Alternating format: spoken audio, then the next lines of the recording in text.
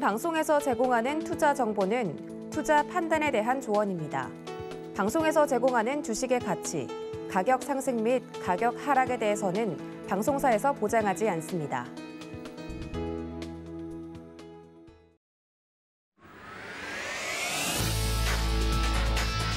시장의 중심에 있는 종목을 파헤쳐 본다. 안녕하세요. 오, 지금 이 종목 진행을 맡은 권민정입니다. 시장이 상승할 때도 그렇고 하락할 때도 그렇고 계속해서 시세를 뿜어내주는 급등의 종목들 있습니다. 이러한 급등의 종목들 상승 이유를 알아보고 그에 맞는 투자 전략을 얻어가는 오 지금 이 종목 시작해 보도록 하겠습니다. 오늘 국내 증시 계속해서 하락하면서 장중에 연저점을 기록하기도 했습니다. 시장이 좋지 않은 흐름으로 이어지고 있는데요. 코스피 결국 2,400선 이탈하면서 현재 2.39% 하락세로 2,382포인트 지나가고 있습니다. 코스닥도 780선을 위협받았었는데요. 현재도 772포인트 선에서 지나가면서 3.2% 하락 흐름 보여주고 있습니다. 오늘 어, 한 주를 시작하는 월요일인데 검은 월요일을 보내고 있거든요. 이러한 시장 상황 어떻게 대응하면 좋을지 파트너님의 의견 들어보도록 하겠습니다. 인사 나눠보도록 할게요. 오세무의 파트너님입니다. 네, 안녕하세요. 네. 네, 오세무의 파트너님 오늘 시장 상황이 계속해서 좀 하락을 하고 있는데 어떻게 보고 계신가요? 네, 시장 상황에 대해서 좀 말씀을 드리겠는데 네, 그 전에 우리가 지금 오 지금 이 종목에서 하는 네, 방송의 목표가 주도주에서 기회를 찾자라는 것이죠. 그러니까 지수의 흐름은 어, 방향성에 있어서 이제 하방의 가능성이 높은 그런 상황이고 어느 자리에서 하방 경직성을 확보하느냐 이제 그게 중요할 것입니다. 그러나 지수의 흐름과는 상관없이 매일매일 주도주는 발생하고 또 주도주에서 수익의 기회를 어, 찾고자 하는 것이 현재 우리 프로그램의 목표로 할 수 있겠습니다. 자, 중요한 것은 이제 시장 방향성과 관련된 부분인데 물론 기술적인 부분을 어, 이따가 더 살펴드리겠습니다만 우리가 먼저 봐야 될 게 펀더멘털적인 측면이 아니겠습니까? 펀더멘털적인 측면에서 우리 증시가 더 하락할 수밖에 없는 그런 상황인가? 일단 펀더멘털적인 측면에서 본다 그러면 이제 바닥을 잡아가는 그런 상황이라고 할 수 있겠죠. 일단 저 저번에도 제가 이제 주식을 어, 재무 구조로 봤을 때 판단하는 근거 어, PBR이라든지 PER 이렇게 알려드렸는데 특히 이 PBR 측면에서 본다 그러면 PBR이 청산 가치 아닙니까? 내가 갖고 있는 주식을 청산을 했을 때 내가 얼마로 돌려받을 수 있는가? 어, 주당 순자산 가치를 보는 것이죠. 주가 나누기 순자산 가치가 PBR입니다. 1 이하가 되면 저평가를 할 수 있고 또는 2 이상이 되면 좀 고평가 측면이 있다고 보는 것이 PBR입니다. 근데 우리 증시 전체를 봤을 때에 지금 PBR이 1 아래에 있습니다.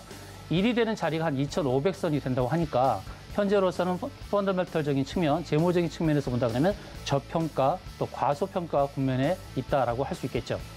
그러면 이 펀더멘털적인 측면에서의 현재는 저평가 국면인데 이것을 더 깊이 있게 확인하는 어, 부분은 뭐냐면 원달러 환율이 될 것입니다.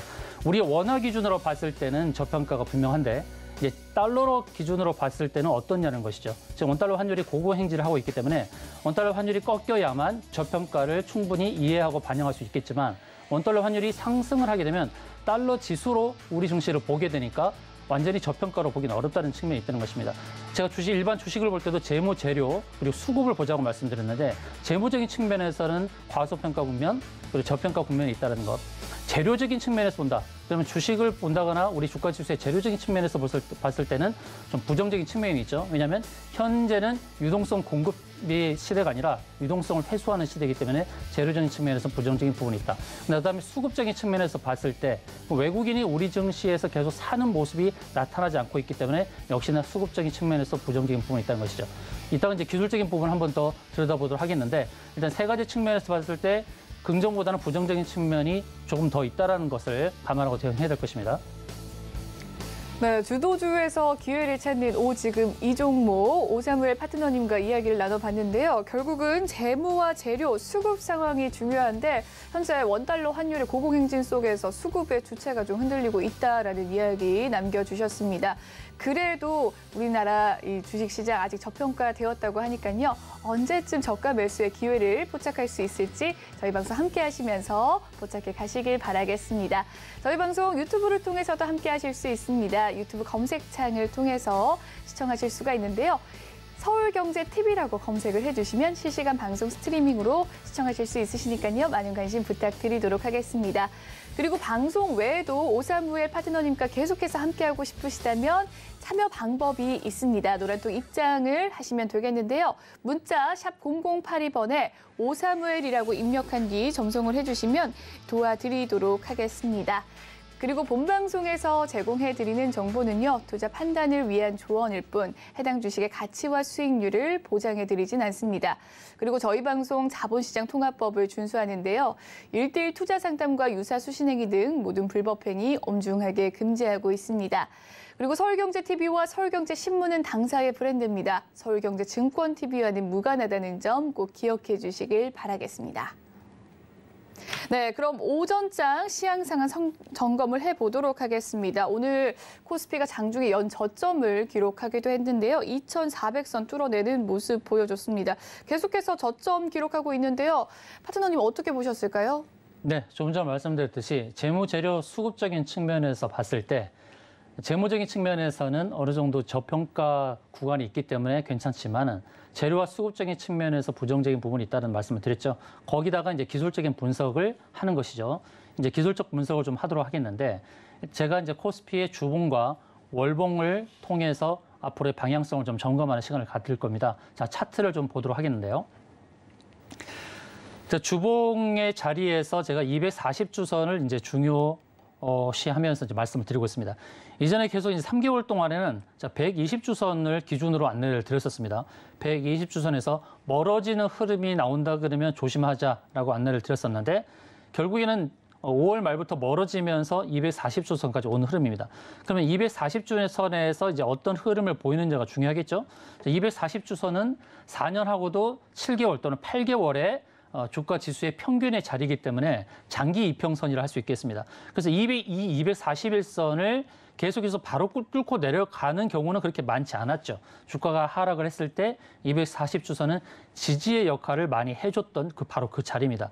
근데 월요일 날 오늘 어, 하락을 하면서 하락을 하면서 240주선에서 멀어지는 흐름인데 주봉을 완성하는 것은 금요일이지 않습니까? 그래서 오늘은 하락을 하더라도 주 중반을 봐야 되겠죠. 화요일, 수요일 지나가면서 240주 선에서 가까워지는 모습을 확인한다 그러면 주 후반에 기대치가 있다라는 것이죠.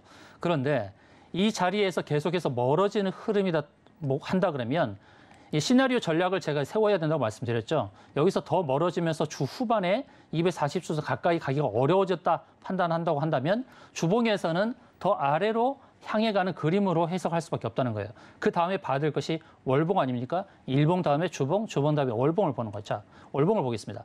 자, 월봉을 보게 되면 월봉에서 이제 장대 음봉이 만들어졌죠. 장대 음봉이 만들어진 현 자리가 굉장히 중요합니다. 자, 지금부터 제가 드리는 말씀을 잘 들으시기 바랍니다. 귀 기울여 들으시면 좋을 것 같은데요. 최근에 이제 하락이 깊었던 자리들이 있습니다. 하락이 깊었던 자리. 지금 IMF 때부터 보시죠. IMF 때는 277포인트까지 갔죠. 그리고 금융위기가 발생했을 때 어, 892포인트까지 하락을 했습니다. 금융위기. 그 다음에 하락이 깊었던 것이 바로 코로나 사태입니다. 이 세 가지의 이제 저점을 잡았을 때의 이 포인트를 기준으로 월봉에서 좀 안내를 드리도록 할 텐데, 자, 피보나치 수율에 대해서 제가 종종 말씀을 드렸죠. 피보나치 수율은 어디서 되돌림이 되돌림 반등이 나올 것인가를 예측해 볼 수 있는 그런 수학적 지표라고 할 수 있겠는데요. 그러면 IMF 상황에서는 어디서 돌렸을까요? 한번 피보나치를 한번 대입을 해보겠습니다. 피보나치 조정대를 가지고 자, 피보나치 조정대에서 과연 IMF 때는 어디서 어디서 저점을 잡았을까요? 이렇게 돌려보겠습니다. 자, 금융위기가 발생하기 전에 고점, 고점까지 갔을 때, 고점까지 갔을 때 보게 되면 바로 이 자리죠. 이 자리에서 되돌림 반등이 나왔다는 걸 알 수 있습니다. 이 자리가 어떤 자리냐면 피보나치 수열에서 61.8%, 618 자리죠. 어, 되돌림 반등이 나올 수 있는 거, 점검할 수 있는 자리가 23.6, 그다음에 50, 38.2, 그다음에 61.8 이렇게 봅니다. 61.8에서 되돌림 반등이 나왔다는 것을 확인할 수 있고 그 다음에 이제 봐야 될 것이 뭐냐면 그 다음에 이제 코로나가 발생했을 때의 이 저점이 있죠. 코로나가 발생했을 때 저점. 여기까지 봤을 때 과연 어디서 되돌림이 나오는지를 또 한번 해볼게요. 그러면 이제 금융위기가 발생했을 때의 저점부터 연결해서 코로나 사태로 급락이 나왔던 바로 그 고점까지 연결해 보겠습니다. 이렇게 연결해 보면 어디서 또 되돌림 반등이 나왔습니까? 바로 61.8%. 61.8% 자리에서의 되돌림 반등이 나왔다는 것을 확인할 수 있습니다. 그러면 이제 코로나 사태로부터 저점을 잡았던 자리로부터 또 현재의 자리를 한번 대비를 해볼 필요성이 있겠죠. 코로나 저점 때부터 최근에 고점이 나왔을 때의 자리로부터 대비, 대응을 해보니까 대입을 해보니까 아직 61.8% 자리까지는 도달하지 않았습니다만 현재 자리는 어떤 자리입니까? 50% 자리죠. 그래서 코로나 저점에서부터 고점까지 작년도에 11월 달에 갔던 3,316포인트의 고점까지 연결했을 때 되돌림 반등을 기대해 볼 수 있는 자리 50% 자리 그다음에 61.8% 자리 이두 가지가 나온다는 것이죠. 그럼 시나리오 전략이 필요한데 현재 절반 정도 왔다는 것이죠. 저점과 고점을 연결했을 때의 절반 정도의 자리에 와 있는데 여기서 반등이 나오는 것이 우리가 기대하는 바고요. 여기서 반등이 나오는 것이 반등이 안 나오고 하락을 했을 때에 어디서 되돌림 반등이 나오느냐? 바로 61.8% 자리까지는 볼 수 있다는 것이죠. 그러면 하락의 기준으로 본다고 했을 때 하락으로 향해 가는 그 폭이 그렇게 크지 않다는 겁니다. 현재 지수가 2,380포인트 정도 되는데 지금부터 200포인트 정도, 200포인트 정도를 견디면 된다는 것을 어느 정도 감안할 수 있죠. 과거의 흐름을 그럼 지금도 대, 대입해 볼 수 있느냐? 맞습니다. 큰 그림을 봤을 때 20년의 기간 동안에 봤을 때 어디서 되돌림 반등이 나왔는지를 확인해 주고 있지 않습니까?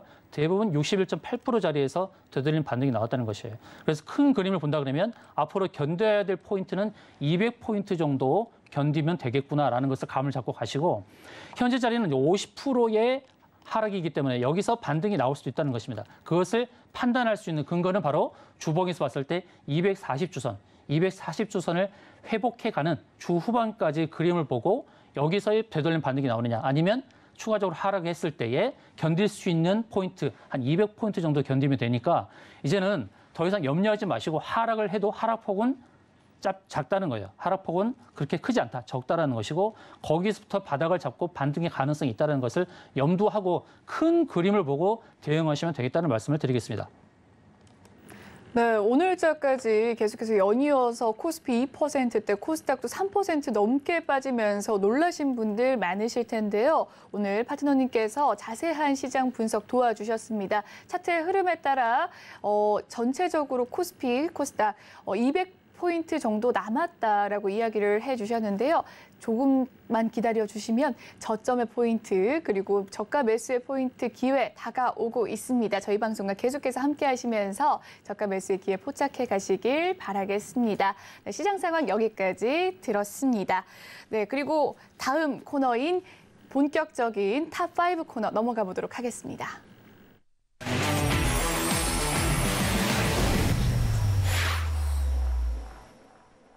네, 오 지금 이 종목 현재 시장의 급등의 종목 top 5 종목을 파헤쳐서 이 투자 전략 뽑아가는 시간입니다. 오늘의 top 5 종목 정말 기대가 되는데요. 어떤 종목이 있을지 화면으로 먼저 살펴보도록 하겠습니다. 오늘의 top5 AP 위성입니다. 네, 오늘의 5위 종목은 AP 위성인데요. AP 위성 하면 이 우주항공 관련주로서 이 뭐 발사체가 올라간다라고 하면 좀 급등을 했던 종목이기도 했습니다. 최근에는 누리호 관련주로서 좀 각광을 받고 있는 모습인데요. 오늘자 누리호 이 발사 2차 발사를 앞두고 기대감 속에서 좀 급등을 하고 있습니다. 9% 상승 흐름 있네요. 장중에는 16,250원까지 올라가 주면서 더 큰 상승률을 이끌었습니다. 현재 가격 15,200원 지나가고 있고요. 장 초반 시초가가 조금 더 큰 모습으로 현재 좀 음봉 나타나고 있는 그림이네요. 장 초반의 급등세로 13,850원의 시초가 16,000원 고점을 찍고 현재 소폭의 좀 윗골이 다는 모습이지만 그래도 10% 가까운 급등 흐름 있었습니다. 또한 정부와 이 국내 대기업의 이 위성 통신 단말기를 좀 공급한다라는 소식에 또 기대감이 있는 종목이기도 한데 파트너님 어떻게 보셨을까요? 네, AP 위성은 이제 우주 항공 관련주 중에서 네. 비교적 상승이 좀 크게 나타나는 그런 흐름이라고 볼 수 있겠습니다. 왜 그럴까요? 자, 이제 나로 2차 발사 있잖아요. 네. 나로 2차 발사와 관련해서 제가 좀 언급을 드리고자 하는데 일단 부품에 좀 문제가 생겨가지고 음. 다시 수리를 했지 않습니까? 네. 어느 정도 어, 수리를 하고 이제 나로 2차 발사가 예정되어 있는 건데 네. 한번 제 앵커님께 여쭤보고 싶- 싶은 게 이 발사와 관련돼서 문제가 생겨서 일단은 철수를 했잖아요. 네. 그러면 발사가 장기적으로 연장 연기가 될 거라고 생각하는 사람이 과연 있었을까요? 장기적이라고는 생각을 안 했을 것 같은데요. 그렇죠. 네. 언젠가는 발사할 것이다. 그렇죠? 2차 네. 발사가 될 것이다라고 그렇게 봤다고 한다 그러면 그건 정말 저점의 매수 기회를 노려야 될 상황이 아니었을까 아. 그렇게 판단하거든요. 네. 그래서 저도 이제 지난 금요일 날, 음. 금요일 날 제가 다- 이 실시간 소통 방송을 하면서 우주 방송주에 관심을 가져야 된다고 제가 안내를 드렸었거든요. 네. 예, 그 중에서 AP 위성도 대상이 됐었습니다. 네. 특히나 실적을 수반하는 그 우주 항공 관련주는 우리가 중장기적 관점에서도 매수를 해야 된다. 음. 그리고 제가 우주 항공 관련해서는 제가 자주 말씀을 드릴 텐데 네. 우리가 왜 이렇게 우주에 우주선을 쏘고 쏘고 또 중국도 그렇죠. 미국도 많이 쏘고 왜 네. 그럴까요? 왜 우주에 이렇게 우주선을 이렇게 어, 발사를 할까요? 이거는 어 달에 가려고 하는 시도이지 않습니까? 달에 아무래도 히토류가 많기 때문에 에너지 자원을 얻기 위해서라고 파트너님께서 예전에 말씀해 주신 적이 있었습니다. 네, 그죠? 네, 맞습니다. 그거를 꼭 기억하시면 좋을 것 같아요. 앞으로 이제 우주 항공 관련주에 있어서 우주선 발사와 관련되었을 때 우리가 어떤 포인트를 봐야 되느냐 자원의 이슈로 보자는 것, 겁니다. 지금 달에 달에 헬륨 3라는 자원이 히토류가 굉장히 많이 있지 않습니까? 근데 그것을 참여하기 위해서 뭔가 기술력을 확보해야 되죠. 미국이 주도하는 그런 우주선 탐사가 있고 또 러시아가 주도하는 게 있습니다. 러시아 중국 계열이 중국 나라가 같이 연합해서 이제 우주 탐사와 관련된 그리고 미국이 주도하는 탐사. 그럼 거기서는 결국 자원 전쟁이라는 겁니다. 자원 전쟁. 이 자원 전쟁의 키 포인트가 있다라고 생각하시면 좋겠고 그런 관점에서 봤을 때 우주에 우주선을 띄우는 일들은 계속 진행될 것입니다. 그러면서 우주 강국의 그런 면모를 보여주게 될 텐데 중요한 것은 이제 이 우주와 관련해서 우주선을 쏘아 올리는 부분에 있어서의 부품주, 특히 부품주에서 실적을 어, 수반하는 그런 종목들은 우리가 주목해서 봐야 됩니다. 자, AP 위생, AP 위성. 자, 일단 차트를 보겠습니다. AP 위성의 차트를 보시게 되면 급등이 나왔었습니다. 제가 늘 말씀드리는 이런 이런 자리 상한가를 기록하고 아, 상한가까지는 아닌데 14.5% 14.5% 급등이 나오는 거의 상한가처럼 보이죠 차트는. 그럼 이렇게 어, 상승의 모습을 보여주는 걸 제가 뭐라고 합니까? 무불임이라 그러죠. 뭘 부린다는 거죠. 끼를 부린다. 네, 끼를 부리는 거죠. 이런 끼를 부리는 요소가 있을 때, 특히 우주 항공 관련주 중에서 끼를 부리는 요소가 있는 이런 종목들은 주목을 해야 됩니다. 그런데 나로 2차 발사가 연기되면서 이렇게 급락이 나왔다는 거예요. 근데 급락이 나왔는데 기술적으로 보게 되면 바로 이런 자리가 어떤 자리냐는 거죠. 자, 차트의 모습이 잘 안 보일 때는 제가 이런 말씀을 드리죠. 거꾸로 보자고. 자, 차트의 모습 거꾸로 보자고 말씀드리죠. 그럼 뭐가 보이냐면 이게 뭡니까? 이게 이 자리가. 이 자리가 구름층 상단이죠. 구름층 상단은 매물대라고 할 수 있죠. 그죠? 네. 매물대, 구름층 상단. 이 자리는 이제 앞에서 거래되었던 흔적들을 끄집어 나왔다라고 말씀드리지 않습니까? 이렇게. 그래서 매물대가 형성되는 자리이기 때문에 저항이다. 상승을 할 때의 저항 자리가 바로 여기입니다. 정확하게 걸리는 자리. 그럼 이걸 제가 거꾸로 봤잖아요. 거꾸로 봤으니까 원래의 차트를 한번 돌려보자는 거죠. 원래의 차트를 보니까 여기는 기술적으로 바닥 자리라는 겁니다. 그럼 이런 자리를 바로 매수의 자리로 봐야 된다는 것이죠. 그러면서 이제 기술적으로 봤을 때도 매수의 근거를 확인할 수 있는 그 자리에서 나로 발사가 정상적으로 다시 추진되는 그런 내용이 나온 것이죠. 그러면 이런 것은 여기서 이제 어, 저점을 잡았기 때문에 상승이 나왔으니까 오늘 급등이 나왔을 때는 일단은 일차적으로는 매도 대응을 맞습니다. 왜냐하면 이제 2차 발사가 이제 정상적으로 추진이 되겠지만 성공한 거 하는 것에 대한 보장은 없잖아요. 성공하는 것은 보장이 없으니 이렇게 저점에서 잡았을 때 급등이 나면 1차 매도로 대응하는 것은 원칙이다는 것이죠. 항상 우리는 주식에 있어서 주식은 기대감을 먹고 자라는 나무와도 같다라고 제가 말씀드렸습니다. 기대감이 있을 때 주가는 급등합니다. 그러다가 이제 발사를 했을 때의 결과치가 좋았을 때는 더 상승할 수도 있겠지요. 그러나 그것은 우리가 우리의 영역이 아닙니다. 그것은 성공하는 결과가 나오는 것에 대한 우리 영역이 아니기 때문에 기대감으로 형성돼서 주가가 급등했을 때는 매도로 대응하는 것이 좋겠다라는 것을 기억하시면 좋겠고 그러면 다음에 매도 포인트는 바로 이 매물대가 있으니 매물대로 보이는 하단에서 좀 매도 대응하는 것도 괜찮겠다는 것이죠. 단기적으로 봤을 때 그럽니다. 그러면 중기적으로 봤을 때 중기적으로 봤을 때 이제 주봉으로 보게 되면 이제 구름층으로 다시 왔다는 것이죠. 구름층을 벗어난 주가가 구름층 안으로 끄집고 들어왔다라는 것인데 이제 구름층을 벗어났을 때 의미가 있을 것이고 고점을 연결한 추세 상단선에서 주봉으로 봤을 때는 스윙이나 중기적인 관점에서 대응해 볼 수도 있겠다라는 어, 판단을 가지고 대응하시면 되겠습니다. 네, 오늘의 5위 종목은 AP 위성인데요. 이 누리호 관련해서 발사에 대한 기대감 속에서 오늘 상승했던 종목입니다. 단기적인 관점으로서는 현재 좀 매도 타이밍으로 봐야 되지만 중장기적으로도 계속해서 상승의 여력이 있다라고 이야기를 해 주셨어요. 매도 포인트 잡아 주셨지만 조금 더 디테일하게 원하시는 분들 노란 톡방 입장해 주시면 되겠습니다. 그럼 4위 종목 바로 넘어가 보도록 하겠습니다. 오늘의 4위 히림입니다. 네, 히림 하면 이 좀 건축 설계와 감리에 관련된 업체인데요. 저는 또 정치 관련주로 히림이 좀 급등을 했던 모습을 봤었거든요. 오늘자는 13% 넘는 급등세 보여줬습니다. 장중에는 7,200원까지 올라간 모습이었는데 현재는 7,000원 선에서 거래가 진행되고 있습니다. 어, 제가 희림에 대해서 최근 이슈 좀 뉴스를 살펴보니까요.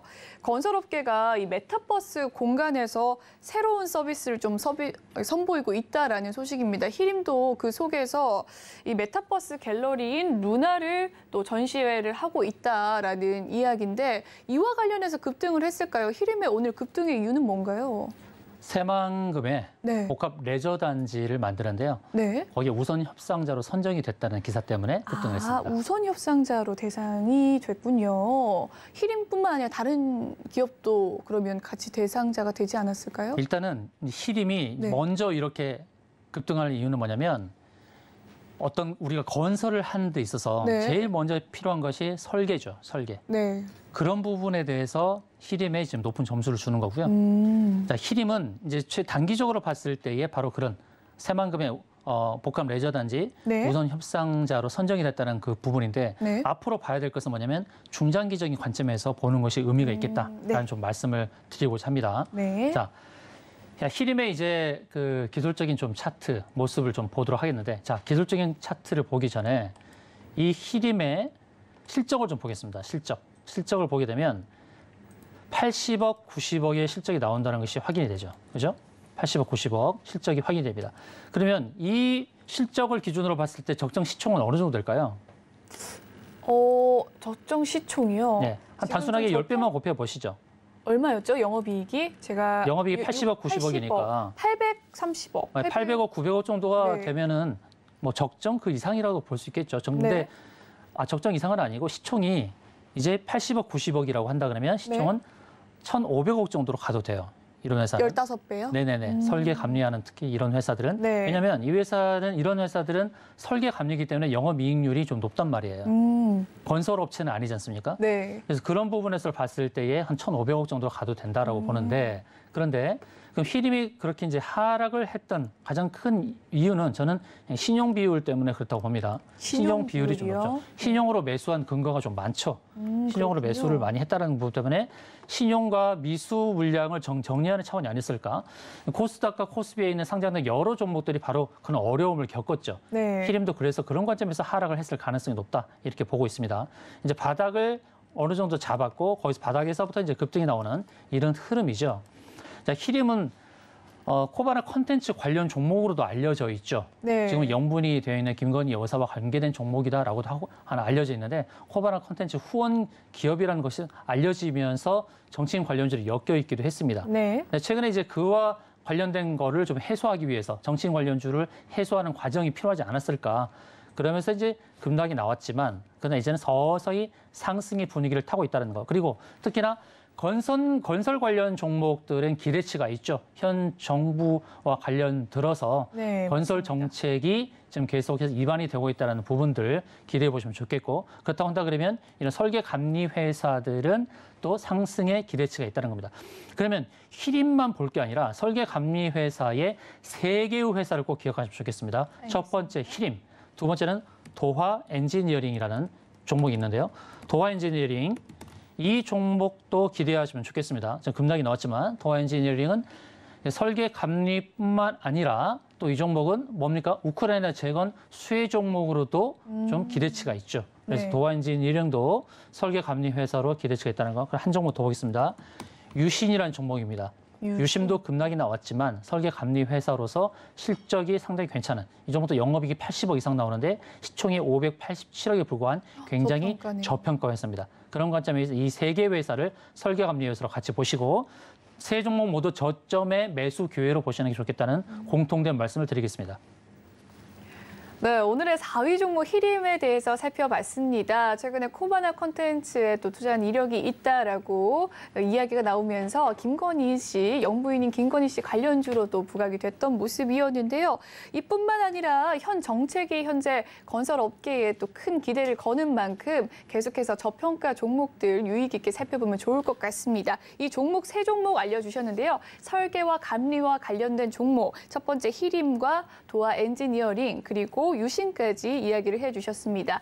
어, 이뿐만 아니라 우크라이나 재건 관련해서도 또 수, 호재를 누려볼 수 있는 종목이니까요. 저가 매수의 기회로 가져가시길 바라겠습니다. 여기까지 4위 종목 살펴봤고요. 이번에는 3위 종목 만나보시죠. 오늘의 3위는 신합콘텍입니다. 네, 신합콘텍 최근에도 좀 상승 이력이 있었던 종목이었는데요. 최근에 좀 USB 단자를 C타입으로 전체 좀 교체를 하겠다라는 어, 이야기가 있었습니다. 이 소식 속에서 미국에 있는 기업들도 바꾼다라는 소식에 신합콘텍이 상승한 걸로 알고 있어요. 현재도 15% 넘는 상승세, 장중에는 8,000원을 뛰어넘기도 했었네요. 현재는 7,610원 지나가고 있습니다. 네, 장중의 고점 8,120원까지 올라간 뒤 현재는 소폭의 어, 윗꼬리가 좀 다는 모습이지만 그래도 16% 가까운 상승 흐름 보여주고 있습니다. 신화콘텍 하면 최근 거래를 살펴보니까요. 지수가 이렇게나 많이 빠졌는데 크게 빠지지 않는 종목으로 좀 기억이 어, 되는데 파트너님께서는 신화콘텍 어떻게 보셨을까요?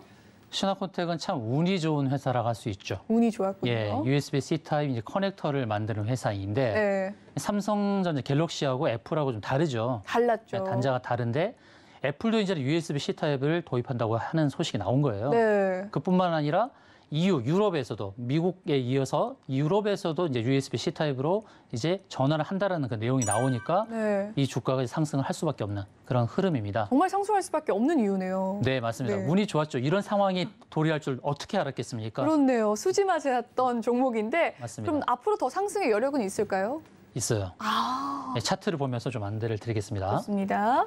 자, 신화콘텍의 이제 차트의 흐름을 보시게 되면 전형적인 이제 상승 후에 조정 보이고 또 상승 후에 조정 보이고 계속해서 정상을 오르면서 또 더 높은 정상을 향해 가는 그런 그림을 그려가고 있습니다.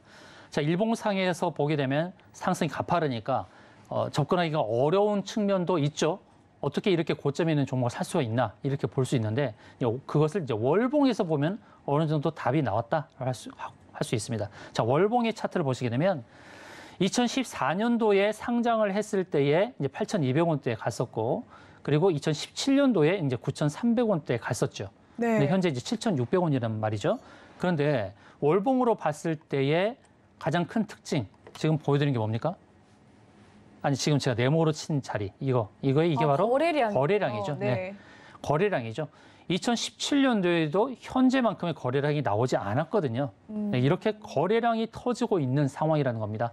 주가는 그림자고 거래량이 실체죠.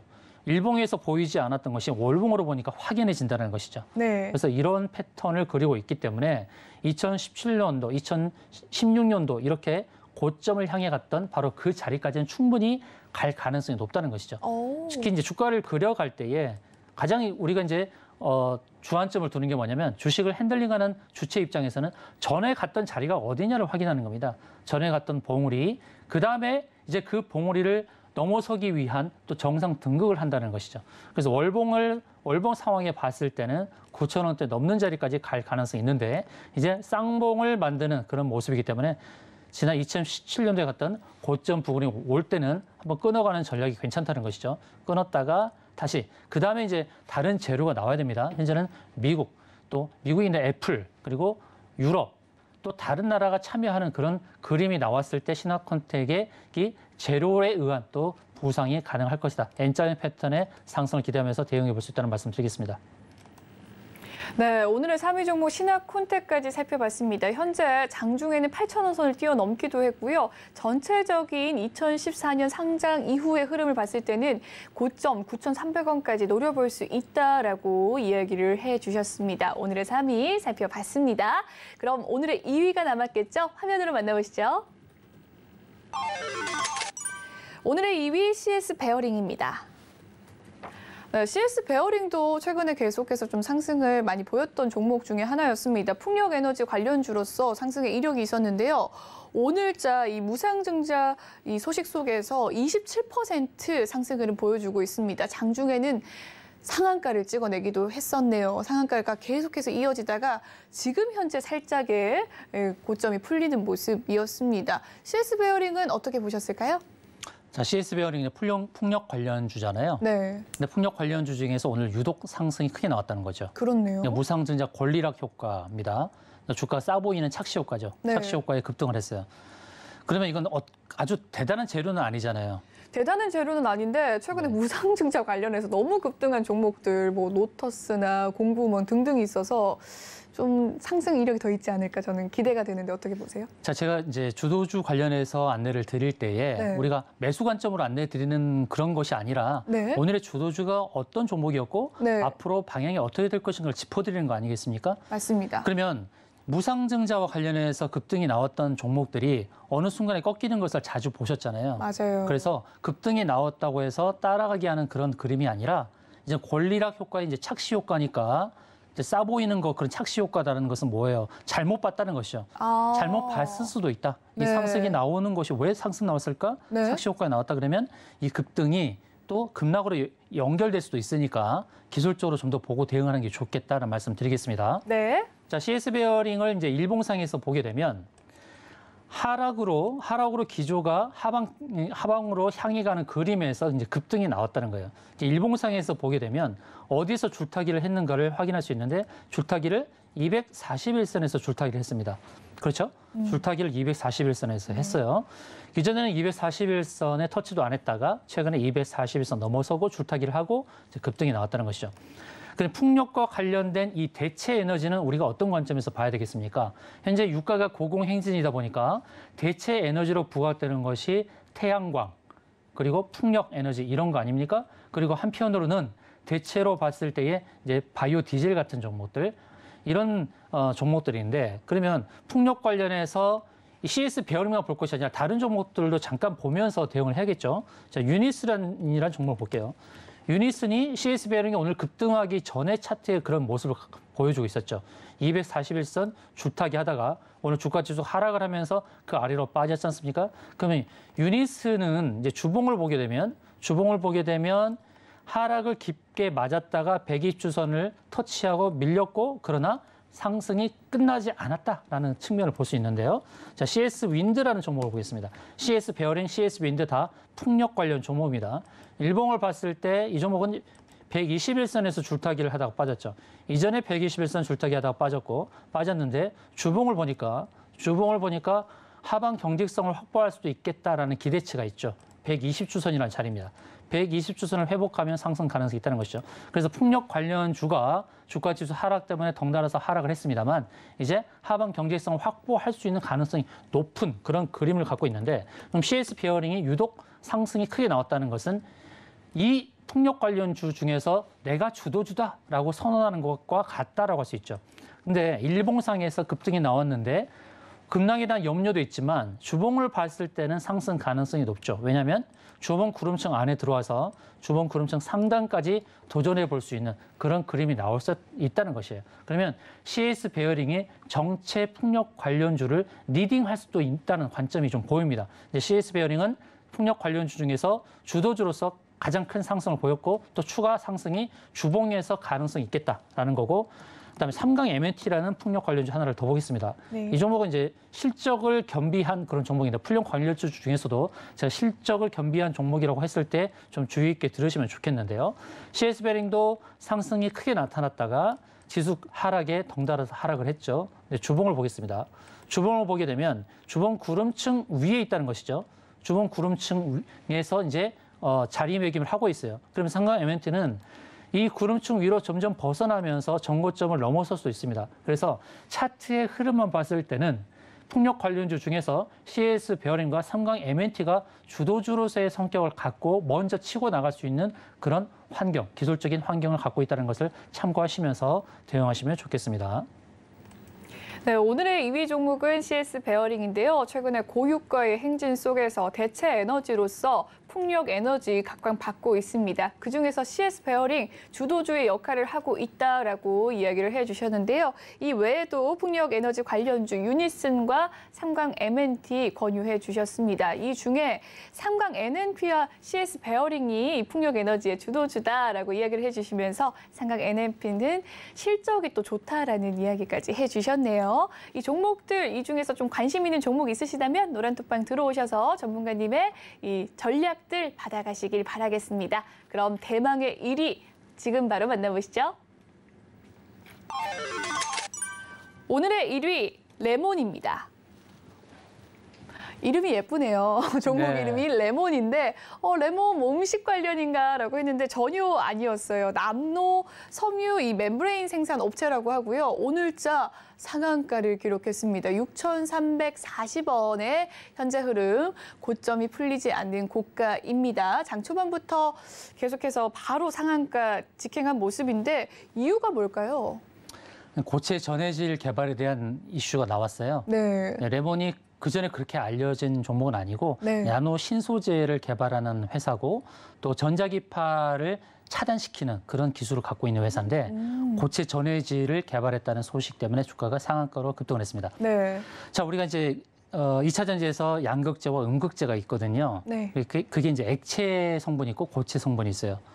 고체 성분이라면 느낌이 뭔가 좀 안정성이 있다라는 그런 느낌이 좀 들죠. 네. 그래서 고체 전해질을 개발하는 회사들이 몇 군데가 있는데 이 레몬은 이제 신사업으로 뛰어들었어요. 음. 그런 그 기대감 때문에 주가가 급등한 겁니다. 아, 액체 전해질 기업이. 있고 고체 전해질 기업이 있다. 고체 전해질 그렇죠. 기업이다. 고체 전해질 기업이다. 네. 그래서 제가 레몬에 대해서 안내를 드리고 고체 전해질 기업 몇 개, 몇 종목을 또 안내를 드리도록 하겠습니다. 알겠습니다. 자, 레몬이라는 이 종목, 이 종목이 상한가를 두 번 기록을 했습니다. 상한가를 두 번 기록했는데 이 급등의 그런 급등의 그런 이제 기틀을 마련했는데 자, 레몬의 주식 수가 이제 3,700만 주입니다. 그렇게 많은 그런 주식 수는 아닌데요. 자, 일봉상에서 봤을 때 상한가를 시연하면서 한 번 상한가였을 때는 121선에 안착, 그리고 두 번째 상한가에서는 241선 안착. 이 재료가 좀 강력하다라고 보는 거죠. 일반적으로는 이런 저항대 오게 되면 저항대에서 바로 돌파해서 가지 않고 쉬어가는 흐름이 일반적인 흐름입니다. 기술적으로 봤을 때. 근데 기술적인 차트에 이런 저항대를 강하게 뚫었다는 것은 뭡니까? 이 재료가 강하다라는 것이죠. 이 고체 전해질 재료가 굉장히 강하구나라고 봐야 되겠죠. 그럼 일봉상에서는 241선 돌파 안착을 했으니 다음 봐야 될 건 이제 주봉에서 다음 저항대가 어딘지를 봐야 되겠죠. 주봉을 보니까 60주선에 지금 딱 걸쳐 있습니다. 60주선에 걸쳐 있는데 이 다음의 모습이 굉장히 중요하죠. 주봉에서 이제 구름층 자리에 들어올 때, 주봉 구름층 자리에 들어올 때 구름층의 아래에 있는 자리가 이제 선행 span one 자리입니다. 선행 span one 자리고 그다음에 선행 span two 자리가 위에 있죠. 이제 선행 span one 자리 구름층 아래에 있는 그 자리에서 과연 신고식을 할 것이냐. 그러니까 구름층 하단 자리에서 바로 구름층으로 뚫고 가는 그런 경우도 있지만 여기서 신고식을 하면서 한번 부딪힐 것이냐. 구름층 하단도 매물대요. 구름층 상단도 다 매물대죠. 구름층 하단은 좀더 어, 자, 어, 이, 이평선 기준으로 본다면 좀 더 단기 이평. 그러니까 단기 이평 기준. 그러니까 단기 일목 기준으로 봤을 때의 자리고 구름층 상단은 중장기, 중기로 봤을 때의 중기 선행 span 자리다. 이렇게 보시면 좋을 겁니다. 그러면 아래에 있는 자리는 저항대가 좀 약하고 위에 있는 저- 자리가 저항대가 강할 텐데 저, 전에 우리가 분석했던 종목 중에 바, 미코 바이오메드라는 종목이 있었어요. 미코 바이오메드요? 예, 기억나실 네. 거예요. 원숭이 두창 관련해서 진단 키트 관련 종목인데 이 종목을 한번 기술적으로 좀 대입을 해보면 이전에 구름층 하단에서 윗꼬리 달고 밀렸죠. 네. 구름층 하단에서 이제 신고식을 한 겁니다. 구름층으로 들어오기 전에 신고식을 겪고 그 다음에 급락이 나왔죠. 그렇죠? 거기를 저항도로 인식하고 급락이 나온 다음에 그 다음은 어떻게 됐나요? 구름층 상단까지 왔다는 거예요. 그럼 디테일하게 이 종목을 잘 대응하려면 구름층 하단에 왔을 때 매도 대응하는 게 맞았죠? 그 다음에 눌림목이 왔을 때 눌림목에서 매수로 보고 네. 그 다음에 구름층 상단에서 매도하는 전략. 이것이 디테일한 고점 매도, 저점 매수 전략이에요. 미코바이오메드는 원숭이 두창과 관련해서 이슈가 사라지지 않고 계속 나올 것이다 제가 안내를 드렸지 않습니까? 원숭이 두창과 관련해서 진단키트 종목, 백신 종목, 치료제 종목, 혈장 치료제 관련 부작용을 치료하는 혈장 치료제 관련 종목까지 다 짚어드렸어요. 근데 미코바이오메드가 이제 가장 먼저 이제 진단을 해야 되니까 진단키트 종목으로서 기대치가 있어서 급등하고 눌러주고 급등해서 구름층 하단과 구름층 상단의 저항을 다 확인했죠. 그렇죠?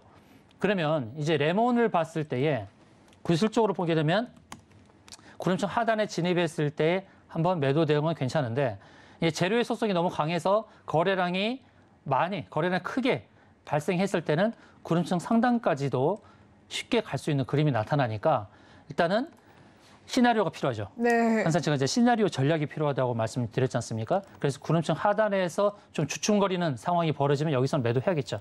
그 다음에 눌림목이 발생하면 눌림목을 정말 절호의 매수 기회로 보고 그 눌림목에서 매수를 한번 노려보자. 그 다음에 구름층 상단까지 바라볼 수 있는 종목이다라고 보시고 대응하면 좋겠고요. 자, 고차 전해질 종목 몇 종목을 제가 더 안내 드린다고 했지 않습니까? 네. CIS라는 종목이 있습니다. CIS 종, 이 종목도 고처의 전해질 관련 종목입니다. 최근에 주가지수 하락했지만 급등이 나왔죠. 급등이 나오고 이제 눌림목이죠. 눌림목이 어디서 발생하고 있냐면 기준선 자리입니다. 이 기준선은 뭐냐면 26개 캔들의 고점과 저점의 평균이에요. 20일 이동 평균선은 20일의 주가, 종가, 종가 기준으로 해서의 평균 자리입니다. 근데 기준선은 26 거래일의 고점과 저점의 평균 자리니까 좀 더 디테일한 그런 자리이죠. 그러면 CIS가 또 상승을 이어가려면 기준선 여기서 여기서 하방 경직을 확보해야 되겠죠. 하방 경직을 확보하게 되면 이렇게 눌림목에서 N자형 패턴으로 상승 가능성이 높습니다. CIS는 주봉으로 보겠습니다. 주봉으로 보게 되면 이 종목 어떻습니까? 현재 주봉의 구름층 바로 그 자리. 일봉의 기준선과 주봉의 구름층 자리에서 두 개의 지지제를 확보하는 그런 자리로 보여집니다. 그래서 기준선, 일본 기준선 자리에서는 매수로 대응해 보는 게 어떨까 라는 판단이 드는 그런 종목이라 할 수 있겠습니다.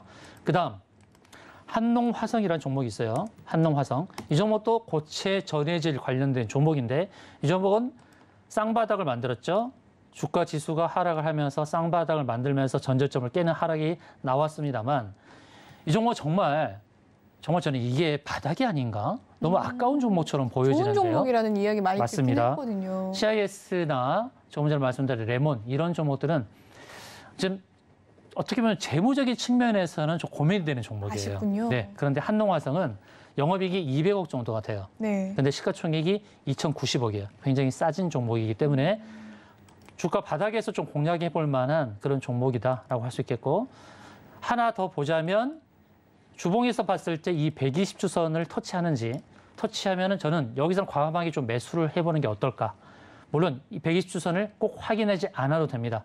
확인하지 않아도 되는 것이 바닥의 형태를 봤을 때에 주봉에서 봤을 때는 삼중 바닥의 형태를 보이고 있으니까 굳이 120주선까지 확인하지 않아도 됩니다. 그래서 하락을 했을 때는 120주선에서 좀 하락을 어, 매수의 기회를 노려보도 좋지만 지금 자리도 저는 매수가 어떨까 실적 면에서 봤을 때 괜찮다. 고체 전해질 관련 종목이고 200억이 넘는 영업이익을 올해 기대해 볼 수 있다는 측면에서 기대치가 있다는 겁니다. 그 다음 이지라는 종목 보겠습니다. 이지 이지 이 종목도 고체 전해질 산화철 관련해서 고체 전해질 종목입니다. 영업이익이 치- 작년도 76억인데 시가총액이 841억에 불과하기 때문에 저평가 종목이라 할 수 있어요. 2차 전지 관련된 종목들은 우리가 예의주시하고 봐야 됩니다. 전 저점을 깨고 하락을 했습니다만 이지는 주봉에서 이제 240주선을 하회했습니다만 240주선을 회복하는 순간에는 매수로 어, 매수로 대응해야 될 그런 어, 고체 전해질 종목이다라고 볼 수 있겠고 좀 중대형 종목에서 고체 전해질 종목은 에코프로비엠이 있습니다. 에코프로비엠은 잘 아는 종목이죠. 이, 이 회사는 제가 4년 전, 4년 전에 서울경제TV에서 5만 원대 추천했던 종목이에요. 아, 예. 정말 쌌었네요. 그런데 55만 원이니까 네. 와, 10배가 올랐습니다. 10배. 4년 동안에 10배가 올랐습니다. 그런데 에코프로비엠은 중장기적 관점에서 계속 상승 가능성이 높은 그런 종목이죠. 주- 코스닥 주- 지수, 코스피 지수가 하락을 하는 가운데서도 좀 채 하락하지 않은 그런 종목이라 할 수 있겠습니다. 이런 종목 중장기적 관점에서 기대치가 있는 종목. 그래서 고체 전해질 관련해서 레몬, 그리고 한농화성, 그리고 CIS, EG, 에코프로비엠 이렇게 다섯 종목 짚어드렸습니다. 네, 오늘 고체 전해질과 관련된 종목 살펴봤습니다. 레몬이 오늘의 1위였고요. 이 종목들 말씀해 주신 종목들 투자 전략 궁금하시다면 노란톡방 입장해 주시면 되겠습니다. 참여 방법 설명해 드리도록 할게요. 노란톡방 입장 안내입니다. 문자 샵 0082번에 오사무엘이라고 입력한 뒤에 전송을 해주시면 노란톡 입장 방법 도와드리도록 하겠습니다.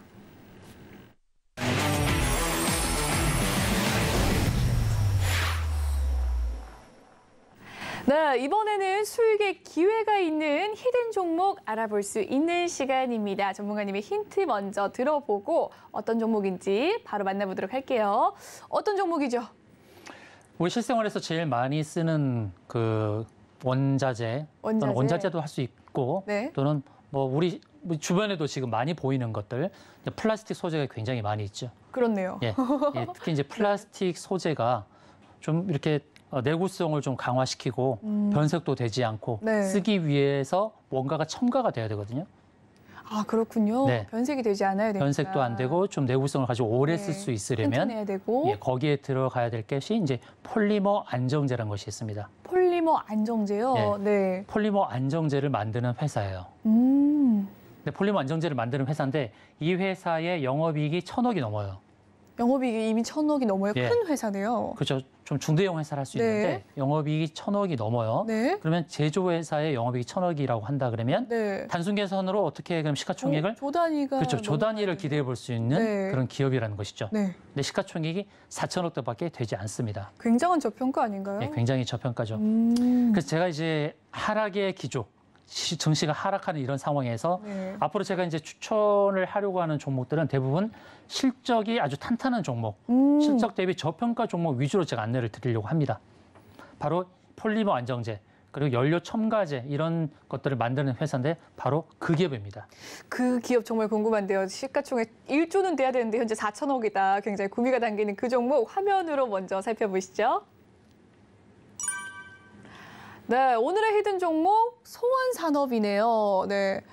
어, 송원 산업 많이 들어본 종목입니다. 굉장히 굵직한 굴지의 중견 기업인데요. 이 종목을 hidden 종목으로 선정한 이유 저평가뿐만 아니라 또 어떤 게 있습니까? 기술적으로 봤을 때 좋은 네. 맥점에 왔다는 겁니다. 100, 몇 백점. 점? 네. 100점? 맥점. 맥점. 예, 맥점. 딱 맥점. 매수하는 맥점. 맥, 아. 매수 타입, 매수 타점. 타점, 네. 딱 타점에 정확하게 왔군요. 네네. 네, 파트너님이 좋아하시는 정배열 그 차트 흐름인가요? 아닙니다. 정배열 아닌데 물론 정배열이 좋아요. 네. 정배열이었다가 좀 무너졌습니다만 그러나 바닥 제가 보는 바닥 기조를 유지하면서 그러니까 음. 바닥이라는 것이 그냥 확인을 하는 것에 있어 있어서의 네. 실적 저평가였을 때는 더 가능성이 높은 거예요.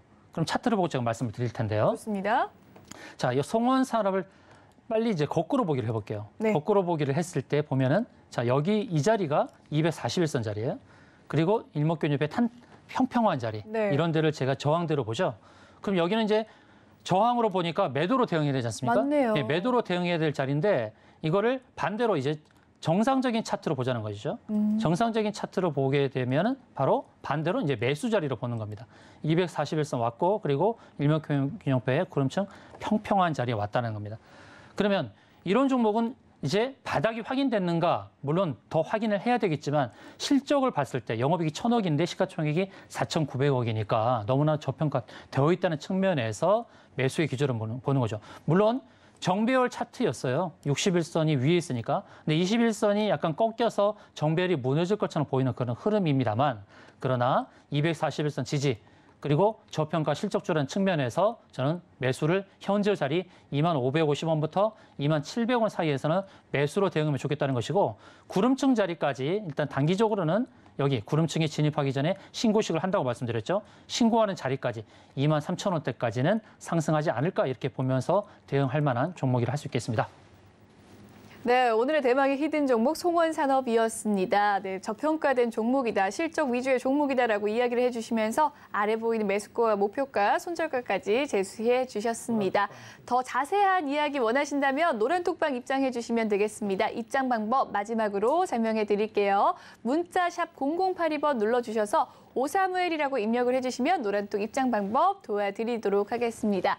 그리고 본 방송에서 제공해드리는 정보는요, 투자 판단을 위한 조언일 뿐 해당 주식의 가치와 수익률을 보장해드리진 않습니다. 그리고 저희, 시- 저희 방송 자본시장 통합법을 준수하는데요. 일대일 투자 상담이나 유사 수신행위 등 모든 불법행위 엄중하게 금지하고 있습니다.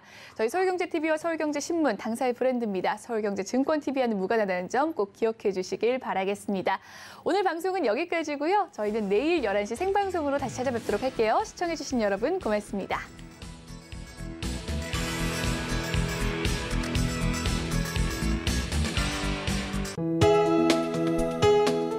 본 방송에서 제공하는 투자 정보는 투자 판단에 대한 조언입니다. 방송에서 제공하는 주식의 가치, 가격 상승 및 가격 하락에 대해서는 방송사에서 보장하지 않습니다.